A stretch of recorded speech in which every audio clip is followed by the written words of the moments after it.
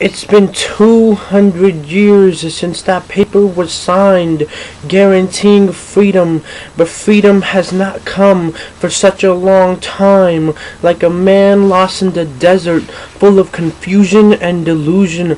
The world has turned into a mime. Statistics and logistics have now become the bottom line, so my mind has been flooded with excruciating pain of thoughts of Kunta Kinte brought over and sold with a new name.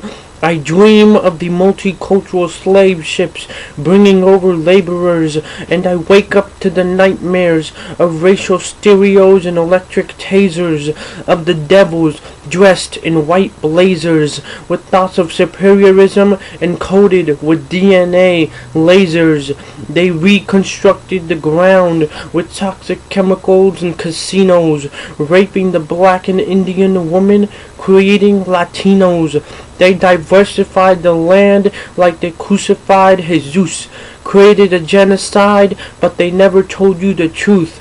The reality of your life has been measured for profits and benefits from the old age to the youth. They said the message of democracy has to be spread to the world, but the shit is so corrupted it'll make your head swirl. Every promise ever made was just another lie to keep you trapped in a cave, trying to live the American dream at minimum wage when it's already been decided you're gonna be locked in a cage.